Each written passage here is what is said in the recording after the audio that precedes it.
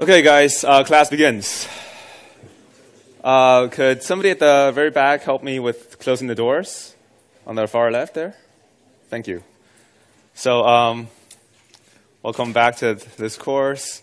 Uh, I hope you guys had fun in the, for the la- in the labs this week. Any difficulties here? Any questions? So, lab three, um, apparently, first of all, there were some logistic issues. I realized that our website um, were, was not that reliable, and uh, some people couldn't download the lecture, uh, the lab manuals, right? Okay, so just try reloading it, because um, every time I get this message, I test it again, but it just worked, seemed to work out. So try reloading it multiple times, and uh, just feel free to let me know whenever there's another issue. Okay, but regarding Lab 3, are there any other questions? Okay, so um, just to recap, Lab 3 is, uh, in Lab 3, we're, we're, what we are essentially doing is um, constructing a decoder that um, takes in binary input and outputs the corresponding number onto the seven segment display. The main thing we want, to, want you to learn here is the um, concept of the decoder. A decoder taking in as input a binary sequence and decodes it into a form that is easily um, readable by humans. Okay? Right. So um, later on in the semester, starting from lab five and six and so forth, we will begin to learn about um, MIPS programming and also how we can construct the MIPS processor. Before that, for lab four, you will learn another important concept, which is um, finite state machines. Finite state machines allow you to define different states or different um, status, uh, statuses within a system and they can generate corresponding output based on different inputs and the current state of the system. Okay, and you will learn exactly how that can be done next week with a really simple example. All right, so um, my name is Dorian, as you might have seen before, um, and today we are going to continue with um, what Anjan left off yesterday. Okay, so mostly this week we're talking about MIPS processors and MIPS instructions. So I'm going to do, a, first of all, a quick review of the important parts of what was taught um, yesterday and also a little bit from last week, maybe. Just the important aspects so that we can talk about other important instructions I'm going to introduce to you today. And then later, we can continue on with the programming aspects of MIPS. And we're going to talk about the addressing modes of MIPS, how one can address different types of variables or different um, points in the program or different types of uh, constants um, using the MIPS instruction. Finally, there are some uh, odds and ends, some miscellaneous things to, take, to maybe be aware, be aware of so that um, uh, you would find it easier to program MIPS assembly later on in the labs. Okay, um, let's begin. So, just to recap quickly on what we taught yesterday, um, this conditional branching. So, in particular, branch on equal. So recall yesterday that branch on equal is an instruction that allows you to jump to another certain point in the program when two um, values that you are comparing are exactly the same. So in this example, um, we are putting 4 into the register S0, putting 1 into the register S1, um, shifting register S1 to the left logically by two positions, which essentially means that we're multiplying it by 4. And then that gives you 4. And then if you set a branch equal uh, um, instruction on both of these registers, S0 and S1, and jumping to target if they are equal, um, it would jump all the way over here in actual execution because both of these numbers are exactly the same. Okay, so labels indicate the instruction locations in the program. Um, they cannot use reserved words like other instruction names and they must be followed by a colon. Okay, this is important when you write the actual assembly code, I believe in lab 6 or lab 7, depending on how we're going to um, design the labs in the end. Also, later on, this will be important for you to break out of loops. And I believe yesterday Anjan already covered the while loop uh, extensively, right? Okay, so just another um, branching um, example. Here we have the jumping um, branch. Uh, instruction. And here, jump simply says that regardless of whatever was done before and whatever is done afterwards, it's going to jump directly to the target. So we don't even have to discuss what was done here and later after the jump instruction. So when you initiate a jump instruction, it's going to jump directly to this part and, and execute uh, the, the instructions from there on. Okay? Now, this is also important because we're going to use the jump instruction to jump into subroutines. So, uh, essentially, different functions within your program. Okay? So, this is what we're going to learn later on.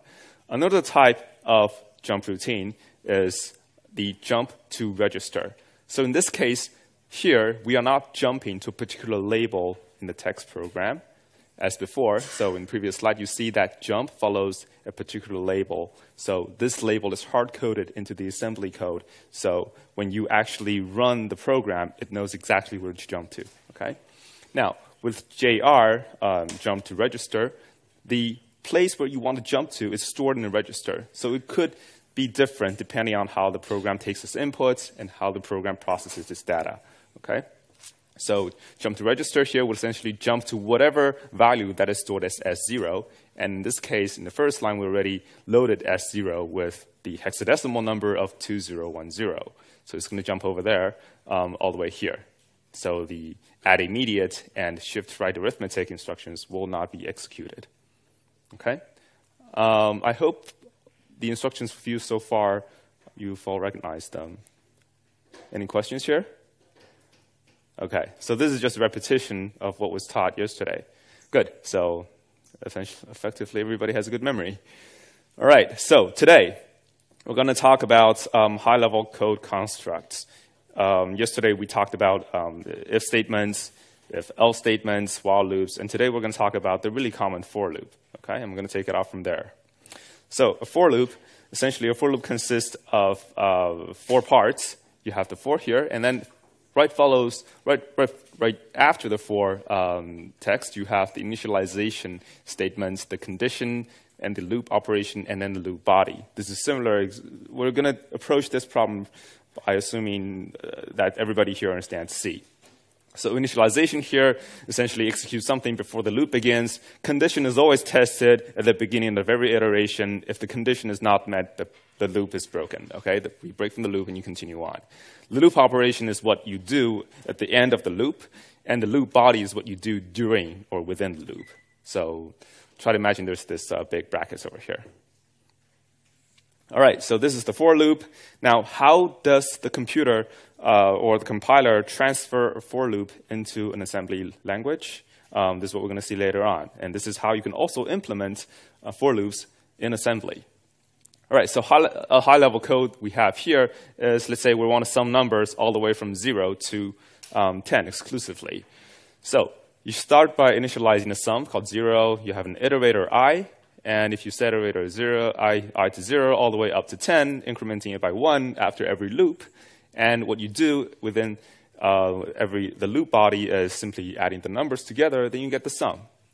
All right, so when this uh, high-level language is comp uh, compiled into assembly, first we have some examples here. So, for example, it might be that uh, the, the assembler simply says, well, we're going to use the register S0 to store the value i, and we're going to use S1 to store the sum. Okay? So you might already have an idea of how this would go.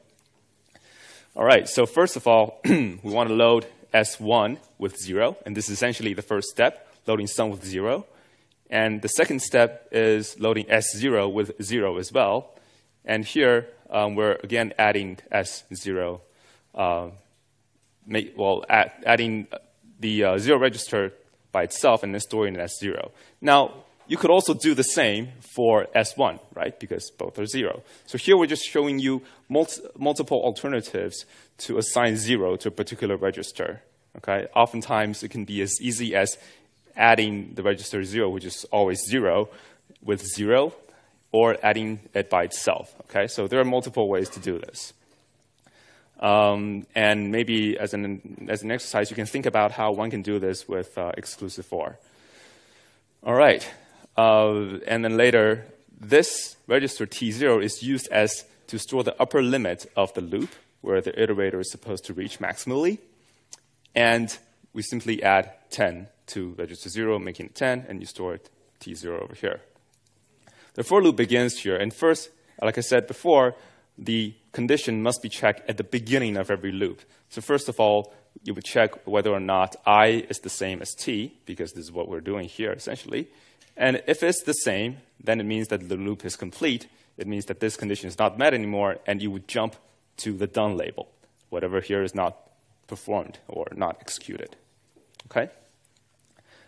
If this condition is not met, it means that you still have to do whatever it is in the loop body, and that includes um, adding uh, the S0 or I into the current sum accumulation and uh, incrementing I and then jumping back to the 4. Okay, so here, this is what we did before. The, we talked about before. You jump to a for label. So notice the assembly test for the opposite, test for the opposite case here, I equals to 10, rather than the test in the high-level code, I not equals to 10. Okay, because here we're it's, we're, we're programming assembly in a, in, in a way that we're telling it to jump out of the loop on a certain condition. So intuitively, it should be the logic should be the inverse of whatever condition that is originally in the for loop. Okay? Any questions? Yes, please. How would one go about comparing whether one variable is smaller or equal to another one? Right. So that um, would require other instructions the set less than, actually. So maybe I can get to that later. Was that not taught yet? Okay, so I will get to that later because we have also a list, a short abbreviated list of instructions. Um, so you have branch, in, branch, um, branch on equal, and what um, you just asked essentially is how can one compare whether or not a number is smaller than the other? So what you do is you would have another instruction to say that I'm going to set a particular bit in the, in the register to 1 if the value in one register is smaller than the value in another register. And then after you execute this instruction, you can then check on the result of this instruction, which is the value in the register. If it's zero, then you do something. If it's one, then you do something else. Okay, so this is what we can do later on. And this is also really important because, yeah, good question. This, this will come up in the labs as well. Any? So basically, I'll cover the instructions later on. Any other questions? Okay, good. Right, so let's continue on. Ah, actually, it might be right here. So this is the high-level code for another, um, another for loop. So we're instantiating sum, 0, i, and we want to add the powers of 2 from 1 to 100. Okay, so this means that the uh, next steps of every, of every um, for, for loop body, we're going to uh, multiply i by 2 because we want powers of 2. Okay? And i starts with 1. So the i essentially is going to be 1, 2, 4, 8, and, and so forth. Here is the check to see whether or not i is greater than 101 uh, or equal to. So the loop would only continue if i is smaller than this. And this is where you would compare whether or not a number is smaller than 101. If it's smaller, then you continue to do the loop. If it's bigger, then what you do is break out of the loop. So what one can do here, again, these are similar, these three lines are similar as before. So you store as, you initialize S1 to 0, you initialize S0 to 1, which is I, and then you add T0, which is your threshold uh, variable here, and you load it with 100, okay? Now here you have the set less than, SLT, okay, stands for set less than. what it does is it compares the values in S0 and S1. And if the value in S0 is smaller than the value in S1, then T1 will be set to 1. Okay? So set less than is simply saying that if this is less than this, then this value will be set by, by, by setting a value. What I mean is, you know, setting it to the value of 1. Okay? if it is the same, it means that uh, so S0 here is 1. T0 here is uh, 101. So T1 here would mean that it would be 1 if i equals 101. All right? Now, what you do here, what we do here is another breakout um, branching. And it compares essentially the value of T1 to 0. So if this, if i is not uh, smaller than t0, then this value would not be set, and it would remain the value to be the value 0. So by comparing 0 to 0, you would break out of the loop. So what I just explained is the condition where the loop would be broken, all right? So otherwise, it means that if this value is set to 1, then this would not be satisfied. The equality here is not satisfied, and the program will continue on. Okay, so the program essentially continues on when um, T1 is set to 1, which means that S0 is smaller than T0. So hopefully this answers in detail your question. Yes? Yeah, uh, I'm not sure about MIPS assembly. I don't think I've seen a zero flag here. Um, I'd have to read into the references. Maybe I can get back to you after the break. um, I think we are going to implement this zero flag, though, so chances are could, there could be one. Um, in Lab 5, when you implement the ALU, the arithmetic logic unit, we would ask you to output a special flag 0, which is set to 1 when the output of the ALU is all zeros. Okay. so this is how it can be done. Yes? Um, so why are we using add immediate to initialize the registers and not like load immediate or something? Well, if, if it's load immediate, so first of all, I don't think there's any load immediate instructions. There are load words and store words. So by load, I think what you mean is loading from memory, right? I mean, or store. Mm-hmm. Or like, why are we adding zero to? Oh, all right, we're adding zero to just so that we can make S1 zero. So, I mean, if there is a copy instruction, then what I could do is I'll just say copy from, from register zero to register S1, right? That would be the simplest way. Because at the beginning of this code, we want to initialize sum to zero. So, like I said before, there are a lot of ways to initialize a particular value to zero. Um, one of the ways would be to add the register zero to zero, that's one of the ways. And other ways, there, there are actually a ton, tons of other ways that you can do this. Mhm.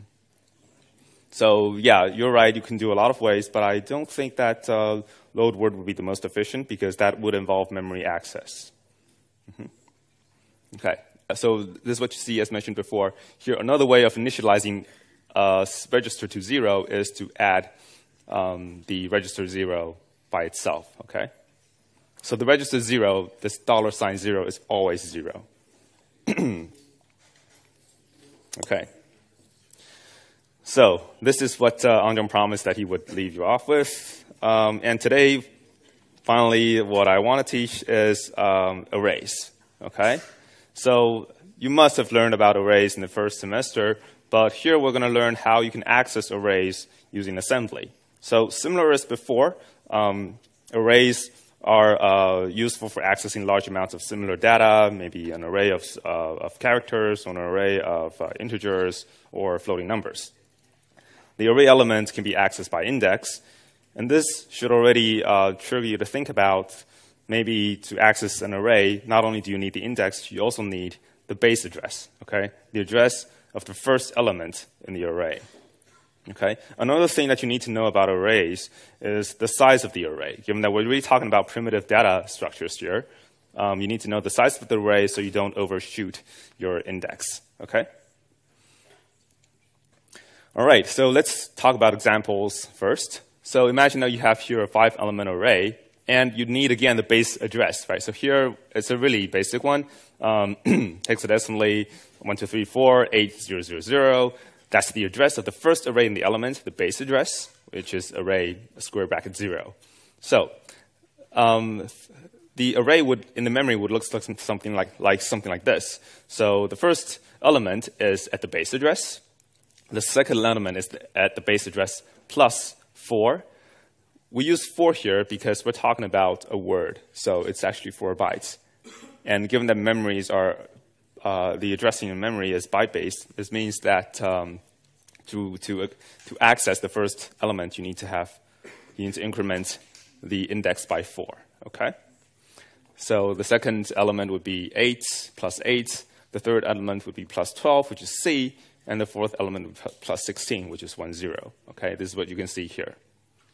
All right. So the high-level code for accessing arrays, we can explain it um, using, again, an example. So imagine here we have a high-level code that instantiates an array of five, setting the array uh, the array element 0 to itself multiplied by 2, and the first element uh, also um, twice its original value. What we do here in assembly is, first of all, so now that we have this um, high-level code, let's think about how we can get, um, get the same result using assembly. Okay? So as I mentioned before, we need to access the array um, using its base address. Okay? So imagine that here we already tell you that the base address is the same as the previous slide, 123480000. How does one access it? So this means that you need to first initialize uh, this value, put this value somewhere in the program, okay, so that you can access it. And in this example, well, the, the comment would hints to you that need, you need to put this value in S0. So what we do here is like this. We're going to load the upper part of S0 with an immediate value. Load upper immediate, okay? So we're loading an upper immediate with 1, 2, 3, 4, and this means that the upper half, the upper 16 bits of the register S0 would be filled 1, 2, 3, 4. Okay? And the lower part, we're going to use OR, um, or immediate, and we're to, gonna, it's going to, the, the calculation goes, goes as follows. The arguments are the S0 register itself and 8000.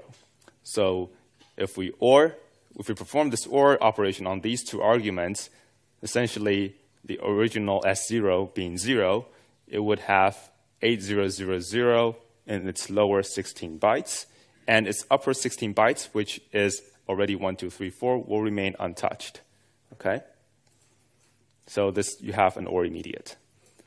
Does anybody know why we have to do this? Like, why can't we do um, add immediates, S0, 0, and then 1, 2, 3, 4, 8, 0, 0, 0? Why can't we do this in one shot, in one operation? Yes? Because instructions can only be 32 bits long. Exactly. So instructions can be 32 bits long, so we cannot fit 1, 2, 3, 4, 8, 0, 0, 0 into the operand here. Okay, I feel like that was a too simple a question to ask. Okay, but everybody else understands, I hope. Okay, so this is one of the reasons why, all right? And we are going to run into this, this issue later on, um, the, the, uh, the lack of sufficient space for calculation or for adding values into numbers. And I think one of the clear examples would be multiplication. Um, as a hint, multiplication, when you're multiplying two 32-bit numbers, you would get max maximally a 64-bit number. So how do you store that in one register? Well, you don't. So you're going to have to do something different there. Okay, so this is how it's done. After initializing it, now we have the base address from which we can uh, access the array elements. So the uh, base address would be the memory address of the array, and we are going to load it by uh, like this. So we're going to load into the register T1 something from memory whose address is stored in the register S0, and the offset here is zero. Okay, so this effectively loads the zeroth element from the array into register T1. This is just the syntax. Okay, so what what is in these brackets should always be a register that stores the base address. What is in front of the parenthesis would be the offset. Okay, so this is the zeroth element. And then what you do here is a shift left operation, which multiplies T1. I'm sorry, uh, essentially multiplies T1 by by by 2 because you're shifting it to the left by one um, bit location. now that you've done this, you can store the value back to the array.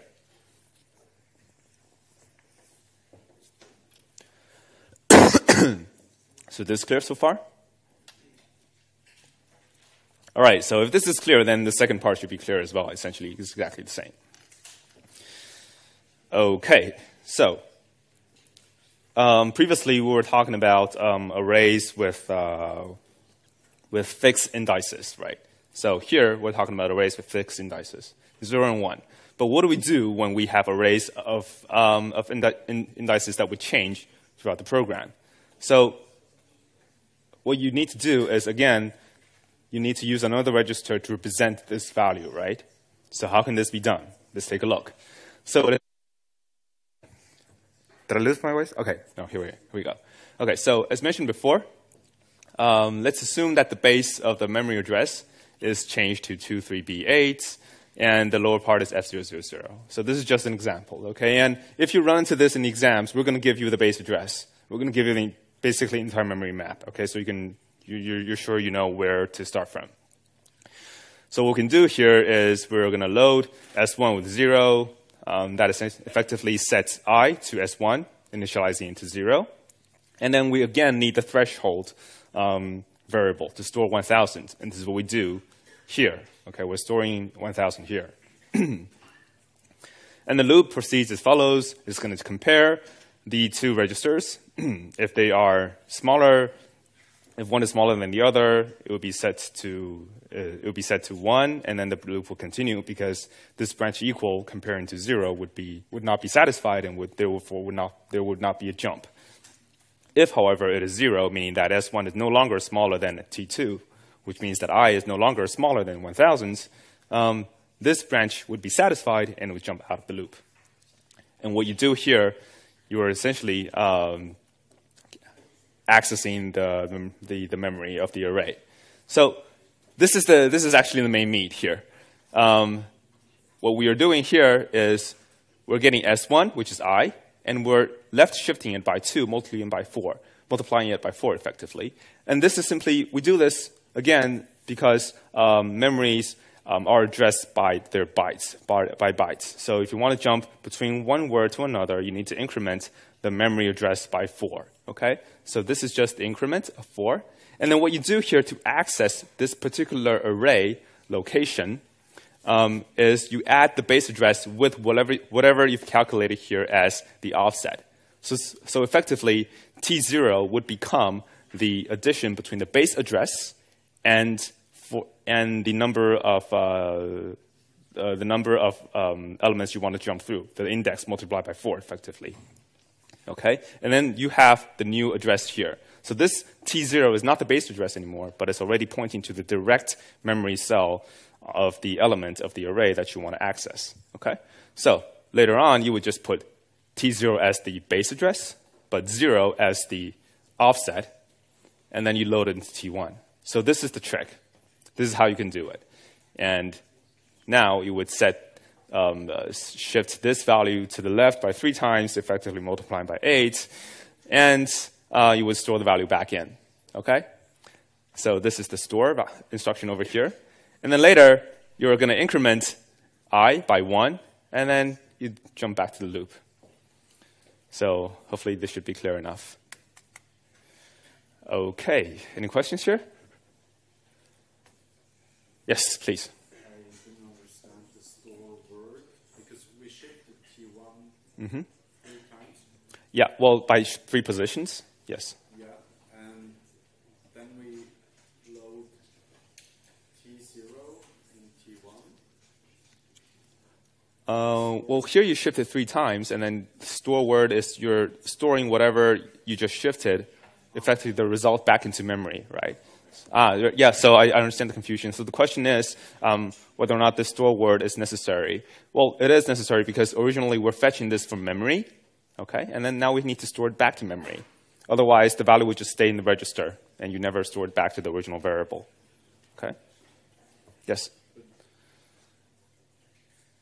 If uh, load word is loading it from T0 Mm-hmm. and storing it in T1, Yes. and store word is loading it from T1 and storing it in T0. Yes, store, store word actually is loading it from, well, copying the value in register T1 and storing it in the memory address indicated by zero parentheses, uh, parenthesis T0.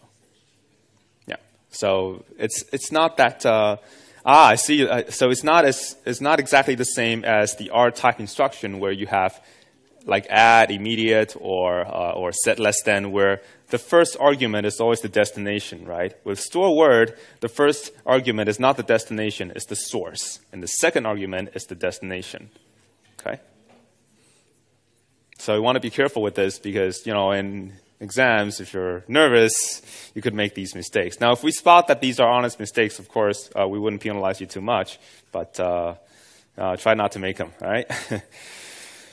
okay, so um, right now, what we have seen, just a short recap on uh, what I've observed so far, is we're teaching you how to convert high level code, look at high level code, and write in the corresponding assembly in MIPS. Okay, and in exams, it might so happen that we do test you on this. So what we do is we want you to uh, to implement a particular algorithm, um, and you're supposed to imp implement this algorithm in assembly.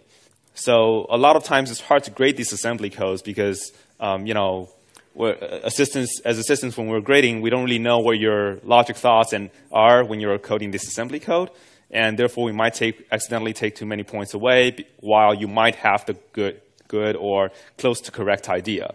So one of the suggestions I can make is to, first of all, uh, make your code quality better by writing it clearly. And to help you with that, you can first implement the code or write it on the side of the paper, the high-level C code that, uh, that would implement this function. After writing this high-level C code and making sure that this high-level C code is correct, you convert this high-level C code to assembly okay? Step by step, baby steps, you're going to get things right. So if when you, when you convert, when you convert um, high-level code into assembly, you do the corresponding conversion for initializing uh, arrays or variables. You do the corresponding conversion process for for loops and while loops and if, else statements, and then you fill in the blanks, okay? Um, just writing the, the, the high-level code and not implementing assembly code, that doesn't mean that we're going to give you the points, but at least we know your thought process. It makes us easier to judge whether or not your code is more correct than others. Okay? All right, that's just a small remark from an assistant that's going to you know, oversee the exams. Okay, um, let's continue on to talk about procedures. As I mentioned before, um, I, in addition to talking about jump instructions, I also talked about jump register instructions. And uh, and jump uh, and jump register instructions and jump instructions, they're also all, both of these are going to be used in procedural calls. So procedures here are pretty much what, the same as what you learned in C. So again, you have the caller and callee. Uh, well, in this case, the simple case, um, the caller would be the main function call who calls sum, and sum is the callee, the one that's being called. We don't need to get into the details of this. So this is just the definition. So as a caller, what is important here, we need to identify what is important here that uh, matters when we write the corresponding assembly version. The first one is the caller needs to pass arguments to the callee, okay? And it needs to jump to the callee. Essentially, you store certain values as arguments, and then you jump to the corresponding part of the uh, subroutine you want to call. The callee should perform the procedure by fetching the arguments, computing on it, and return the result to the caller. And after returning the result to the caller, essentially also by also this means it has to put the, re, the, the return values into certain registers or certain locations, and therefore and then it has to jump to the corresponding point from which the original jump to itself was made. Okay, so it needs to return to the point of call. What, one other important requirement is that the callee should not override registers needed by the caller. Okay? Right, so here are some calling conventions for MIPS. Um, the call procedure, jump and link, return from procedure, jump register, argument values, and return value. Okay, the jump and link simply is the uh, is what you is, is the instruction you will use when you're calling a particular procedure. JR, jump register, is the instruction you will use when you're returning, returning to the function that has called you, okay? Uh, that this allows a procedure from, to, to return to its original um, calling uh, program counter. The argument values that the caller would use are conventionally A0 through A3, and the return value that the callee would use to store its return value conventionally would be V0 and maybe v1 if you need to return two 32-bit numbers. All right, avoid here simply means that doesn't return a value, and I don't think this slide tells us much. So let's remove, let's go to the next part. This is how we convert a high-level language of calling uh, processes into assembly. So here you have the main function, and what the main function does first is, is, is simply called simple, who does nothing. So this is just a basic example. jump and link simple, and then what simple would do is to perform a jump register RA. Yes? Uh, what happens if we have more than four arguments in a function? Ah, so if you have four arguments in a function, then you need to use stacks, and this is what I'm going to cover later on as well. Yeah, but good, good, good catch. Yes. What does the and link, what does it stand for? What does it mean? All right. So jump and link. Uh, JL stands for jump and link. It means that you're not simply jumping to this simple location. What you're doing is storing the next address of this JAL into a special location so that simple, the one being called, knows where to return to to continue on with the execution. Okay? Uh, can we access that uh, address without the JR? Without JR. Yeah. Well, not exactly. Well, you can definitely access this address after you store this uh, this value, but I don't think you can access it within the program because this is what the control unit of the processor is supposed to do. Okay? Because well, uh, you can actually get values from the PC counter, yes, and you can com- compute this, but it's jump and link that would allow you to store the next instruction address into the special register called RA, so that simple here can jump to the register stored in this address. Okay? So JR is, well, it's not jump to register, it's jump to this address uh, stored in the register. Okay. So um, there's no return value here, and just a simple example of how you can make a function call. Right. So this is essentially what we we're talking about before. So JAL jumps to simple and saves the next location of the program counter in the return address RA. Okay. In this case, it would be uh, the one with the suffix 04. All right. And then J, JRRA would jump to the address that it's stored in this um, R return address. Okay. Good. So this should allow you to distinguish clearly between the roles of JAL and JR. JAL is used by the caller, and JR is used by the, uh, the callee, the function that is being called.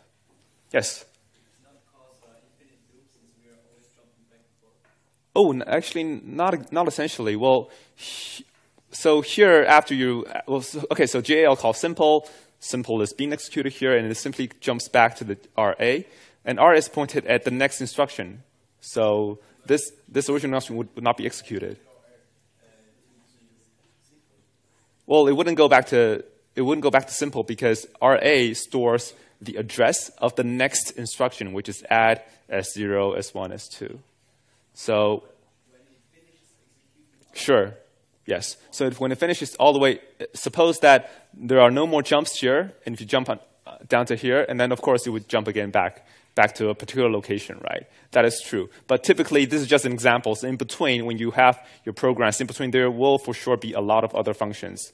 And in particular, at the very end of a function, there would be this halt instruction that simply tells the MIPS processor, hey, we're done, halt execution, and terminate. Yes?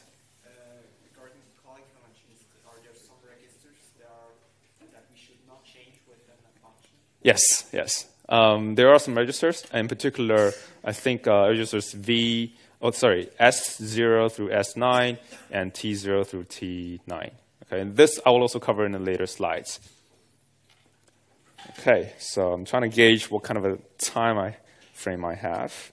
Um, okay, so the conventions, we can begin talking about a little bit of them. So argument values, to pass arguments, you can use the registers A0 and A through A3. So what you do before a caller passes an argument, uh, pa- calls a procedure, to pass an argument, what it would do is it would store these arguments in these four registers, and and then jump to the to the to the procedure. And what the call, called procedure would do is it would store the return value in v0, sometimes also v1, and returns it. Okay, it would fetch. So the callee would know that the arguments it needs are in these registers, and the called and the one who calls the function would know that return values are in these registers. This is just a convention. Okay, but please try to follow this in your own programming. It will help debugging a lot easier. Okay, so here uh, we have an example. So this example is calculating difference of sums. So main function would call this because the main function will call this function later on. Um, difference of sum simply computes the sum of the first two arguments and the sum of the second uh, of the last two arguments, and then calculate the difference, and then return this difference. Okay, so in this case, the arguments are 2, 3, 4, 5, and you would expect that before calling this function, one needs to store 2, 3, 4, 5 into the registers A0, A1, A2, A3. Okay, and what diffs, diff of sums need to do is to store this result in the register V0. Okay, given the previous uh, convention. And this is exactly what it does. So we're putting the value 2 into A1, 3 into, uh, sorry, 2 into A0, 3 to A1, and so forth, all the way to 5 to A3. And then, what, and then you do this jump and link.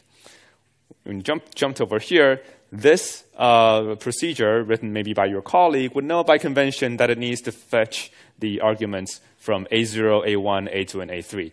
It does the additions over here and then does the subtraction over here. The results are stored in S, the result is stored in S0, and then now it needs to return this value, right? So it's going to copy whatever is in S0 to the register V0. And this is what it does here.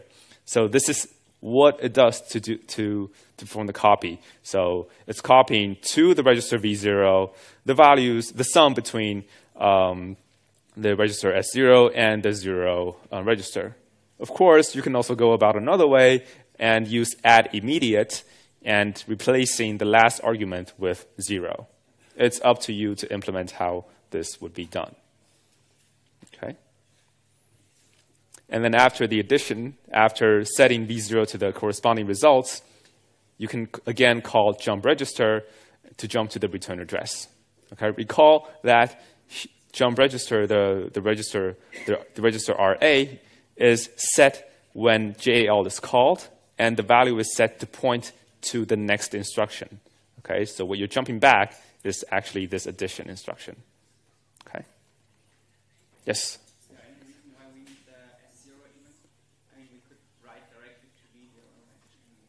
True. Yes, you could do that too. That actually is, is, is a better way because um, uh, S0 could be storing some other important value, and here we're just overriding it without reason, right? So that could also be a reason to directly use V0. Good point. Okay, so um, later on, here you will notice that in the previous code, what diffs of sums is doing is that it's overriding registers T0, T1, and S0 okay? And it overrides the three registers here. Um, and this would have this may have issues, okay? Because there might be some registers whose values you should store or whose values you should not change when you're calling when you're performing computation within a procedure. This we're going to talk about after the break. Also, um, so here, diffs, diffs of sums can use the stack temporarily store registers. And this the use of the stack to store temporary values or store values from registers essentially provides you with the means of backing up data before you, backing up whatever is in your in your uh, register before you use these registers to compute other things. And we're going to continue with this after the break. So take 15, guys.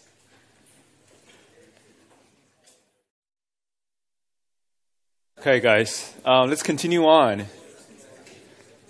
So, second part stacks. Um, before we before we uh, took the break, we were talking about uh, function calls and how they are making they're, they're using um, registers without saving them. Um, they they're they're using return addresses without saving them or without without verifying whether or not they're they're valid.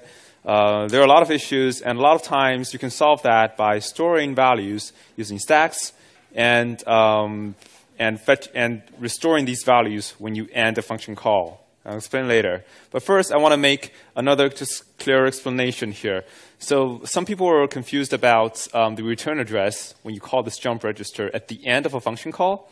So this return address, the value of this return address register is assigned when you are making a, when we are making a call to uh, JAL. When so when the when the processor executes the instruction JAL, it would automatically compute the next address in the PC counter, which is the address pointed to this add instruction, and store this address in the return address register.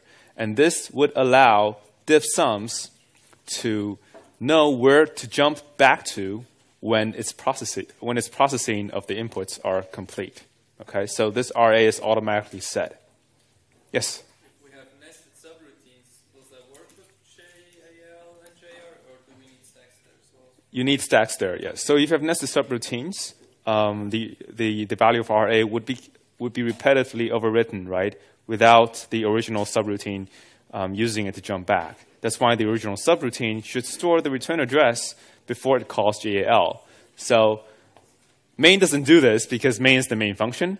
But for any other function that you see and also for, that you write later on, you should always create an, uh, a, a space in the stack and store the return address before you call JAL. Okay? So this is also one of the important things, uh, important applications of using the stack. All right, so the stack. Stack, I guess it's pretty, uh, it should be made known to you in the first few uh, months of your studies here. Um, it's memory used to store temporary variables um, within the function scope. Um, it's like a stack of dishes, first in, first out. It expands. But of course, there is a maximum limit. It contracts when you remove items off from the stack. These are pretty plain. Okay. Um, in MIPS, the stack grows down from, uh, from the, a particular memory address, namely it decrements, okay? The memory address de decrements is, is decreased whenever you put something in the stack, okay? SP is the stack pointer, it always points to the top of the stack. So since the stack grows down, then the top of the stack is at, actually at the bottom. So there's nothing so zen about this saying, but just remember that in MIPS, um, when we want to write the memory, we typically write it from the bottom up. But since the stack grows from the top, the stack always points to the last element, okay? The one with the least addresses, with the least address. Okay, so how procedures use the stack? So call procedures must have no other unintended uh, side effects. So this is what, is what we mentioned before. Um, when you want to use any registers, you should store these registers, the value of these registers in the stack, and then restore them later. Okay, this is just proper convention for a subroutine to behave. Um, so diff of overrides three registers. It overrides T0, T1, and S0. Okay, um, depending on how you judge them to be uh, important to store these to keep these values across different function calls, you can choose whether or not to store them and restore them afterwards. So what this of sums, diff of sums does in the previous example is, that it overrides T0, T1, and S0.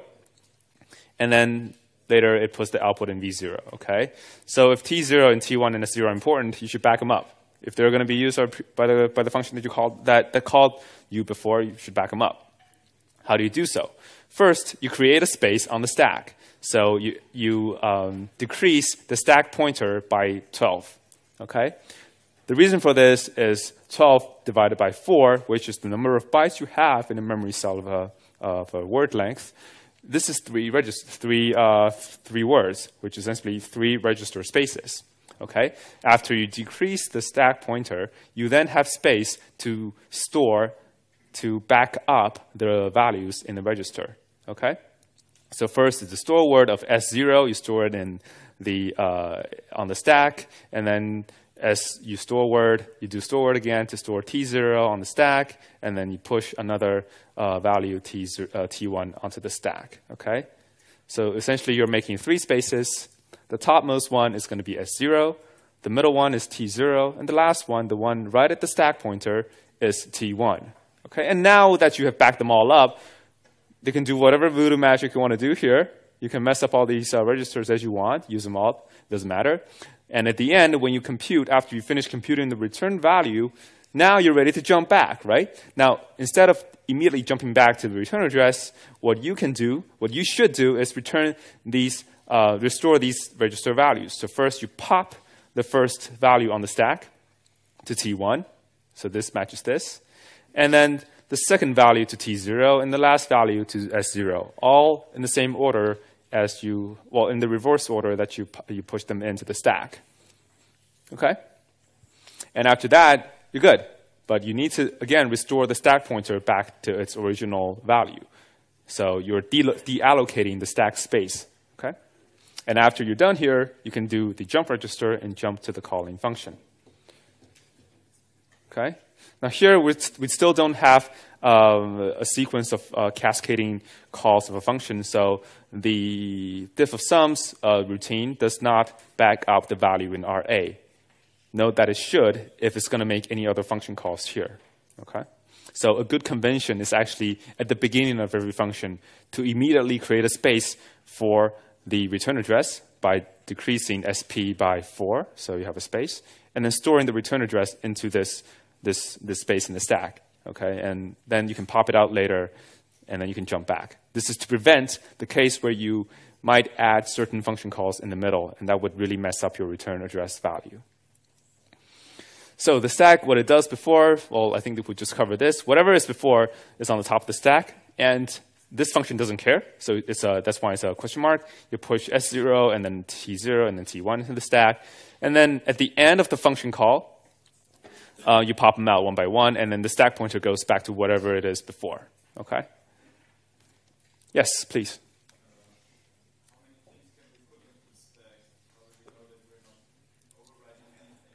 All right. I think uh, um, so. The question is how how many items can we push onto the stack without uh, you know um, having like an overflow error or something. Um, I think MIPS defines a particular maximum limit for you to put in your stack, and I'll cover that later on. So MIPS essentially has um, a total of four gigabytes of uh, memory space, and some of it is uh, is, um, is reserved for system system use, like interrupts, exception handling. Some of it is uh, reserved for the program code because the program is in the memory, and some of it is returned is reserved for uh, static space, which essentially are your global variables, and then finally some of it is for um, your stack. So we can talk. We, maybe we'll get to um, the maximum size later on. All right. So um, in this in this slide, the point really in this example, the point really is to tell you that you should back up your uh, register values. But as we mentioned in the beginning of the class, um, uh, answer, when I was answering a question, there are certain values in, in, the registers, certain registers that by convention you don't need to be backed up because they are by definition used for temporary uh, computations. And here is the list. So here we have a preserved list of registers and a non-preserved list of registers. So the preserved list imply, uh, means that these values should be kept the same when you're calling when the function is being called. So the callee, the procedure, must preserve these values. Namely, it should push all these values into the stack, or preserve them at least. So it should preserve um, registers S0 through S7. The return address, um, the stack pointer, uh, well, actually, uh, the return address and S0 through S7 uh, this they can you can just push it into the stack, and the stack pointer should pres be preserved. Namely, if you create a space in the stack, like by uh, decreasing SP by let's say 12 in the previous example, then you should add it back at the 12 back at the very end of the function before you return. Okay. In addition, whatever is before the stack, the original stack pointer, whatever uh, memory data that is before it, you should not modify. You can't modify them. Okay. This is just a convention. For non-preserved um, uh, registers, you have T0 through T9, A0 through A3, and then the return values. Okay, naturally, with the return values, you cannot expect them to be reserved because um, the callee, the, the procedure that's being called, needs to use them to store the results. And then whatever stack that is below SP, you can feel free to modify them, which means that in the previous example here, when you are when we are releasing uh, the stack here, deallocating the space, the values here they don't matter. So they could be the same values as before, or you can do it in a more secure fashion by zeroing them out. All right. So in this, in this list of conventions, you can tell that T0 through T9, these registers are non-preserved registers, which means that there really isn't a need to push these into the stack, although sometimes it could be considered good practices. Question, yes.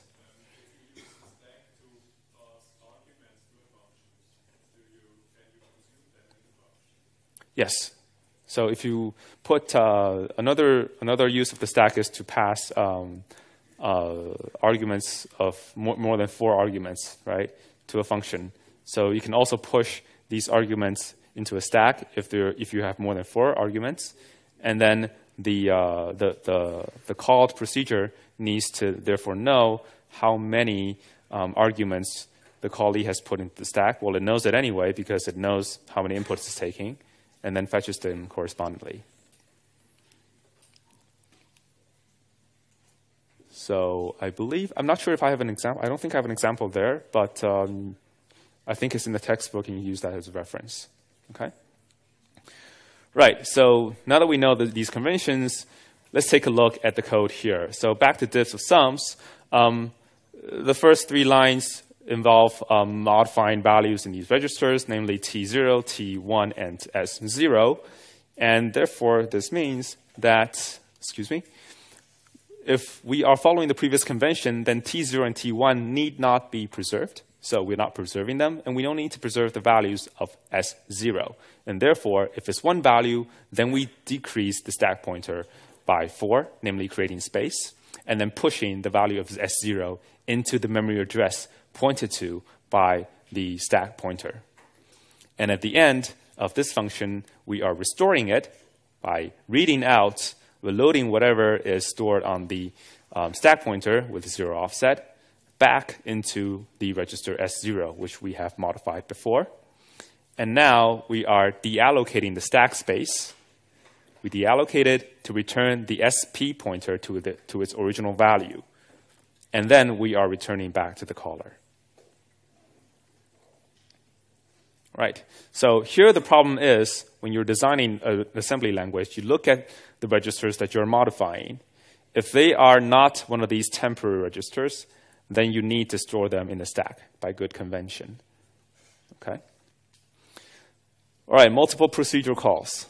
Um, these questions have been raised numerous times in this lecture, so I guess it's really important that, uh, that you know this, and uh, it's good that you know this as well. So you have procedure one here, and it's going to call procedure two later on in the program, which means that before calling this procedure two, it should store the return address in the stack, okay? Because if it doesn't store this return address, this return address register would be overwritten by this JAL instruction. So it's all, it is always good convention to uh, so that that you that at the beginning of a procedure that you always put the return address onto the stack. So you always de um, decrease the stack pointer by four and push it in. And then later you can again decrease the stack by let's say another 12. You want to take three arguments, but it's always good convention. So you can dynamically um, move the value of stack pointers throughout the program. So it's not like you only you have to uh, create the exact number of of uh, stack space at the very beginning of the procedure. You can do it numerous times throughout the program. Okay, so that's why it is always good practice that at the beginning of the program call, you always put the return address into the stack, and then later after calling this procedure two, who might have messed up your return address, you still have a backup here. And then what we can do here is just load the word from the stack and add it, uh, sorry, and return the stack pointer to its original uh, location, and then jump to our restored register, uh, restored return address. Okay. Now, whatever procedure two uh, procedure two might do to the return address or any other function or any other register, that doesn't matter because procedure two would be in charge of restoring your stack pointer so that whatever stack pointer you use here is going to be consistent as whatever you had before the jump instruction. Okay, this is procedure two's responsibility. Okay, and also any other registers that you might have used um, in this program. Yes.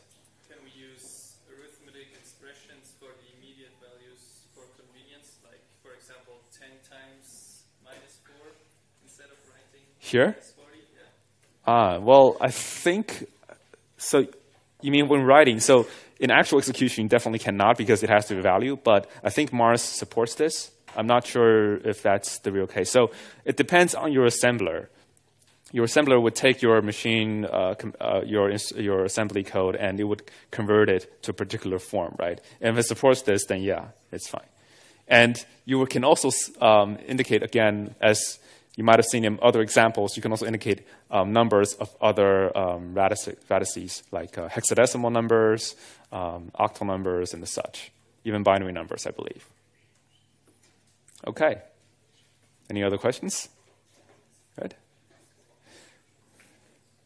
All right, so these are, the, uh, are what you do with multi, multiple procedure calls.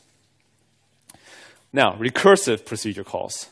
Well, recursive procedure calls are a little bit more complicated, but not much more. So we're using the typical example of calculating a factorial, namely uh, when you want to calculate a factorial, you first check if the number is smaller than 1. If it is, or smaller than or equal to 1. If it is, then you return, return 1. Otherwise, decrement this number and send it to your own function, and you multiply it by this input n. Okay, This is how, how typically people would do it. It's a really good example, but it's really implemented like so in the real world. So factorial numbers. First of all, this Okay, so here you see you see an, an immediate thing, right? Immediately you would see that it's storing the return address into the stack pointer. It's also storing the um, the function argument into the stack pointer because you don't want to lose this original number. Say you want to calculate the factorial of six, you want to store this number six into into the stack as well because later on when you call yourself, you're going to put a new value into the argument register. Okay. So now that you've backed up both the input argument and also the return address, you can start um, uh, doing the actual body of the procedure. Now this involves first seeing if a is smaller than 1. To see a is smaller than 1, um, the technique used in this example is to load another register with 2 and checking if your input is smaller than 2. So whether or not a is smaller than or equal to 1 essentially it means whether or not a is smaller than 2 if we're assuming that the numbers are all um, integers, which is the case here. Okay, so if this is true, then um, if this if a is smaller than one, if this set less than is true, then this value would um, this branch would not be satisfied and can do um, what is between here. Otherwise, you would go to else and you would make the procedural calls. Okay. Let's skip this part for now, and we just want to focus on the jumping here. Well, actually, in this part, at the end, if this um, if a is smaller than or equal to 1, or then what you would do here is you, you, would, you, add, the value, uh, you add the values to v0, you add the results essentially to v0.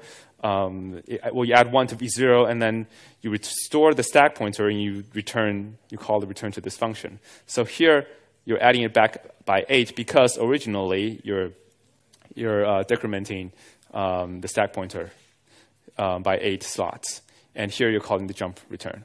Okay? So what is interesting here then is the else um, statement. In the else statement, you first decrease n by 1, and then you would call the factorial by the number itself. So a0 being 6, say, um, or 3, for example. Let's say use the example 3. Um, a0 would become 2, and then you can jump, the, jump to the factorial number, um, which would go all the way back with the new arguments, okay? And whatever value that is returned from there, you're going to see afterwards here. So at the end of the factorial function, it will return back to here. And then this is where you restore the return address. You then again restore the arguments, uh, restore the stack pointer. So again, you need to restore the related registers and then the stack pointer and then multiply the value by your uh, first input. And then you return. So the idea in detail, if we look at only the stack, is the following. So at the beginning, let's say if I call, okay, so this example is also actually a factorial of 3. So what you do is at the beginning, you, you push uh, 3 into the stack, and then you push the return address. And then you call yourself because 3 is greater than 1. So when you call yourself, the number is 2 because you decreased it by 1. And then the new function is going to be is going to put a0 and ra into the stack again, and then call itself, which puts the argument and the return address into the stack again. The computation here takes computation starts from the bottom of the stack, well, actually the top of the stack, and performs the computations, calls the return address, calls which which compute uh, which completes the computation over here in the second call, and then calls the return address here, and then returns back to the original value, uh, original state. Okay. This I, I, try to make it quick because it might be a bit repetitive to teach uh, recursive functions again, but details are in the textbook. Okay, so to summarize, um, when you're designing procedural calls, which inevitably you will, the caller has some uh, duties, right? You need to put arguments in registers A0 to A1. You need to save any registers that are, that are needed, particularly the return address, that's more important, and also maybe the, the values that you used in registers T0 through T9, because recall that T0 through T9, they are not guaranteed to be preserved by whoever, whichever function that you call. And then you jump and link to the callee. So after jumping and linking to the callee, and after the callee returns to the function, uh, returns to, your, to, to, the original calling function, you restore the registers, um, the return address, T0 through T9, and then you look for the results in V0 or maybe V1, okay? And then that's what the caller does. The callee would save the registers that might be disturbed when it's being called, the original registers, S0 through S7, and perform the procedure that is defined to do, put the results in V0 or V1, um, restore the registers, which are S0 through S7. Remember, you don't have to restore um, T0 through T9 because the calling function is in charge of that. And then it jumps return. Okay? Any questions here? All right, so these should be pretty, uh, pretty clear.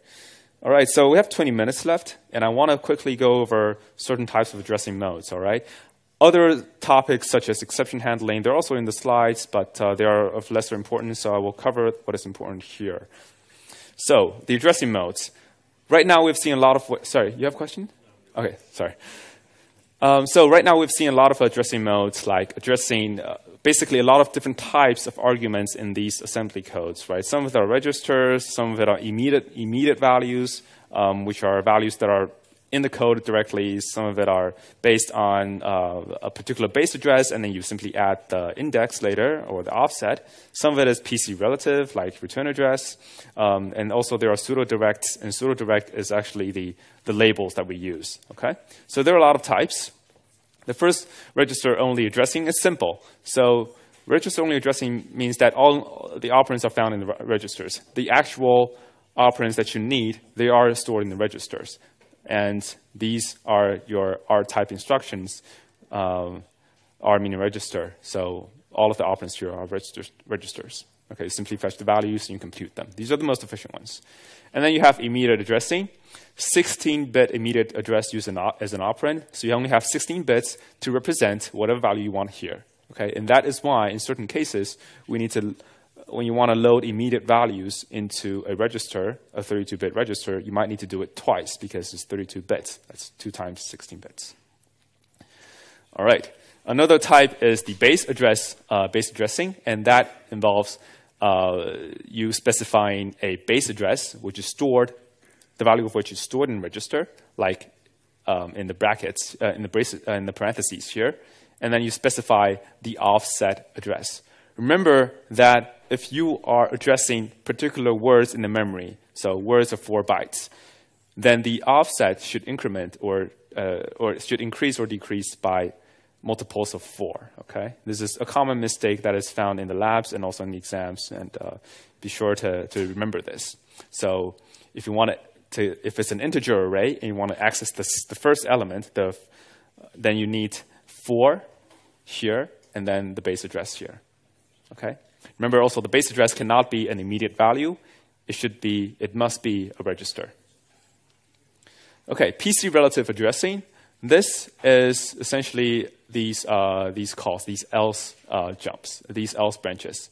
So here, what I mean, what it means, uh, what PC relative means essentially is addresses that are relative to the current program counter. So the current program counter is pointed here, and else is defined as the number of jumps from the program counter incremented by four to the actual label.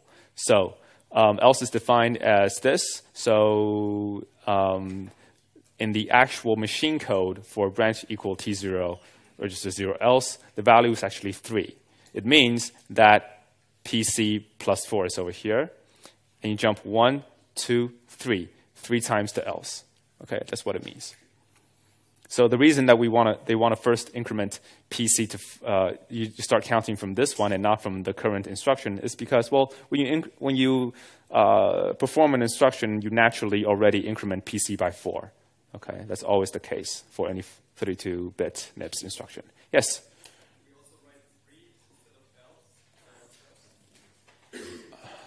Yes, I think so. I think you can work with that. Yeah.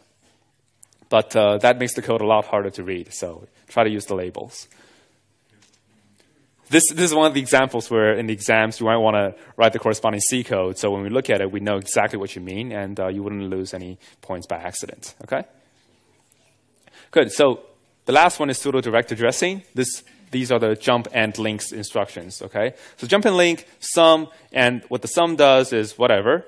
But here, um, the sum has this particular memory address. So the jump target address, or JTA, is actually this value in binary, which corresponds to the, this address in hexadecimal. What you, we do here is we take the middle 26, 26 bits.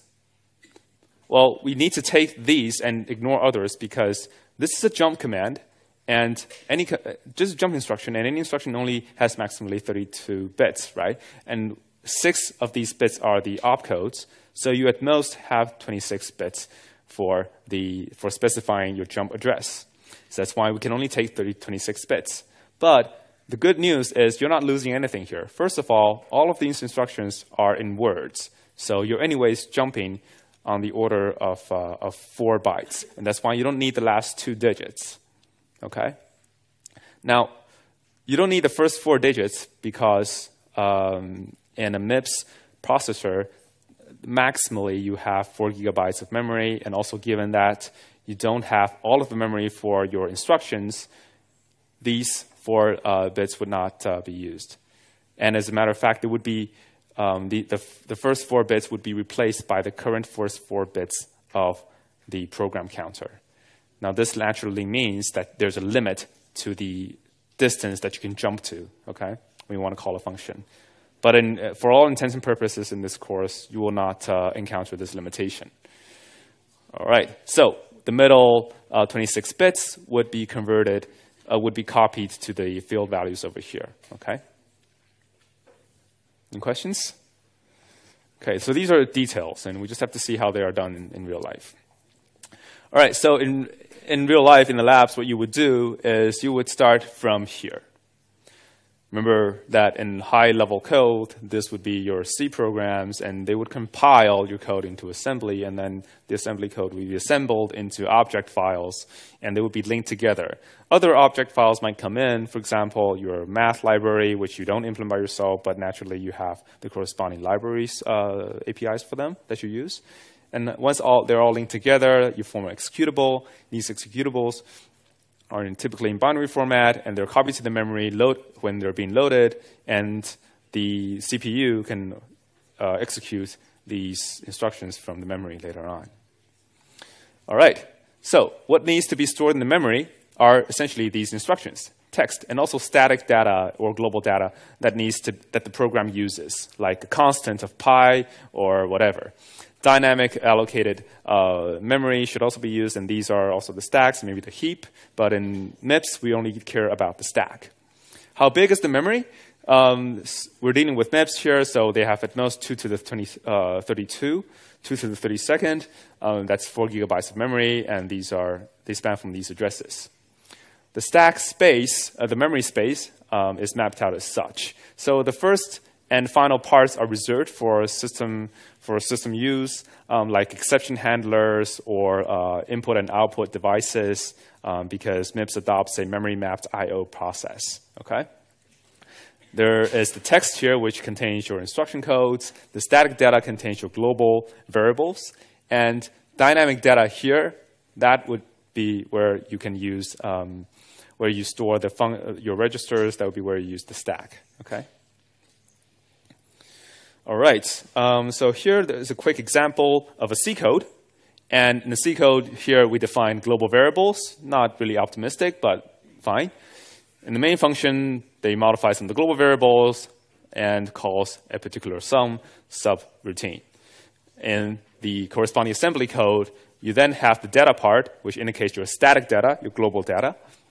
You have these three, uh, these three variables. The main function here, and then you have the sum function here. These are parts of the text, and that's why in the format it, there's a dot text, just, uh, just to indicate that they, these are where the program would begin. Okay. So um, when the program is actually executed, um, these symbols here, currently empty, they would be, be allocated specific memory addresses as well, as well as the starting locations of the main function and the sum function.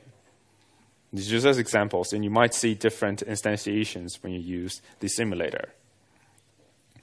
Okay, so I'm going to leave this executable here. Essentially, these are the you know, machine code instructions that you will see, and they correspond to these assembly codes. Now, in the labs, what you will do is you will write these assembly codes, and you're going to verify them, that verify that they are correct in the simulator, and then there's going to be a tool that converts these um, assembly codes into binary file, and you simply put that binary file as an input to your MIPS CPU circuit that you also design. All right, so this is just more, more information on how these instructions would be put into the memory of a MIPS processor.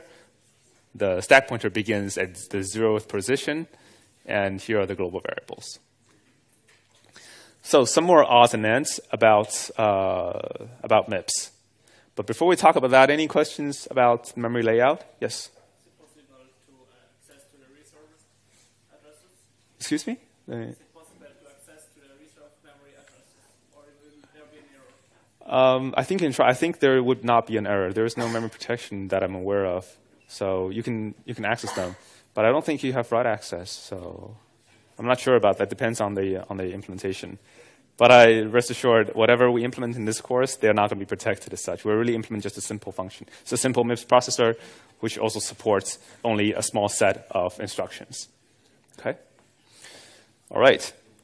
Finally, some odds and ends. Um, we're going to talk about some pseudo instructions, um, which are essentially macros that help you to make the coding experience much more pleasant. Exceptions, and uh, as optional things, we have floating instructions and the such. Okay, so pseudo instructions are here to help you to make your programming easier. For example, if you, as we mentioned before, original MIPS instructions only allow you to load 60, 16-bit maximally into a particular register.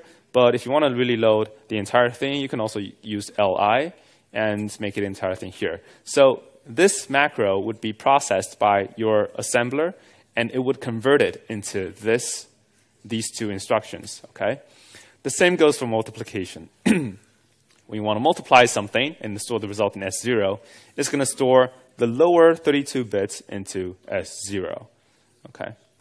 Clear would simply clear a particular register, and what it does is it adds these two zero uh, registers and stores the result in your destination register. Move is yet another macro, so it's not part of the you know MIPS uh, language, but it also does the same thing as move. No op simply does nothing. You always need this for some miscellaneous purposes. Exceptions. Um, there are a lot of reasons that, that can cause exceptions. For example, hardware or software traps. Um, hardware could be interrupts, like getting input from keyboard or any external I/O. And when there's an exception, um, there is always a particular fixed address that the MIPS processor would jump to, uh, and that is the exception handler, and is stored at this fixed address. Okay. And after the exception is, is processed, it would return back to the original program. So um, these are just uh, details on how exceptions are handled, but they're not really the core part of the course, so I will just leave them as references. Okay? What I want to do is skip these and talk about uh, instructions that you will use and some of which you will implement in the labs. Okay, so there are signed and unsigned instructions addition, subtraction, multiplication, division, and finally set less than, or comparison operators. So signed um, operators are these addition, addition, add immediate, and subtraction. And unsigned is the corresponding arguments, but with u appended at the end. Okay? So these are just an overview of the, of the uh, instructions you will use. Multiplication the same, and if you want to use unsigned, then they would be uh, appended by u. All right, you have set less than, which is exactly the same. And uh, basically, all of these functions that I have shown so far, these are the functions that you will most commonly use for the labs and also for the exams. Um, now we've got, we, we, are going into some special functions. Um, these are functions that load not just a, not just a, not always a full 32-bit word, but maybe half of it. Okay, so one LH is load half word. That's only 16 byte, uh, bits, and load byte is just only one byte, so just eight bits. And there are also the um, these unsigned versions of it. So the unsigned version, namely, is sign. Uh, so the original signed version is is going to uh, sign extended. So if it's going to be represented in two's complement, then if the signed bit is one, then all of it is going to be one. So that's why it's a signed operator. Okay. The unsigned one simply uh, zero extends it. Okay. Zero extends whatever value that is not spec specified in the operand. All right. Finally, um, there's also floating point numbers, but uh, I was also told that floating point numbers is outside of uh, the curriculum this semester, so you can also use this as reference. But just to give you a small, head, small uh, summary, um, floating points are not inherently covered uh, by MIPS processor itself. It is a, oftentimes an optional coprocessor that uh, the that the MIPS processor would support. So it doesn't necessarily have to be implemented by a MIPS processor. Although most of these modern MIPS, uh, MIPS processors you can get off the market, they do support it. Um, they use uh, 32, another 30, another 32 uh, registers, and uh, all of these registers, given that they're 32 bits, they can be concatenated into 64, 64 bits, so you can support the double floating type. Okay. These are just information on how they can be done. And uh, also, um, with the floating point instructions, there's also, there's also a special type of opcode 17 and also a special field here, COP, that's, that allows you to specify different types of floating point instructions. So 17 is always here as to indicate that this is a floating point operation. And which operation is it an add? Is it an addition? It's going to be implemented in COP in the later five bits. And it's here that you have single precision and double precision variants of addition and other arithmetic operations. Okay? And there are also other operands that you can take care of. And there are also other um, instructions that you can use to compare them. And uh, also load words and other miscellaneous instructions. But these I uh, currently they are not part of the uh, they are not part of the labs, so you don't have to refreshen up on them. But the other ones, please try to keep them in mind, and we're going to use them in Lab 6. All right, just to sum up quickly, today we talked about common language constructs and how we can represent them in assembly. We talked about the stack, which is really important. You want to use that to back up your data, back up your register when you call a potential uh, function or when you just received, when, you just, when you've just been called by another function. And what is important is also this return address. A lot of times I see students forgetting to back up the return address in the final exam. Now that is something that we have to take care of, okay? Um, the compile program, the, pro the processes is also what we covered today. Other odds and ends, um, but those are mostly optional stuff you can learn. And uh, more details can be found in the textbook. And this pretty much summarizes the, uh, the lectures today and yesterday summarizes uh, what you need to know about MIPS processors, okay? Now starting um, maybe the week after the next, you will start to design your very own MIPS processor. So be prepared to get excited, guys. Thanks.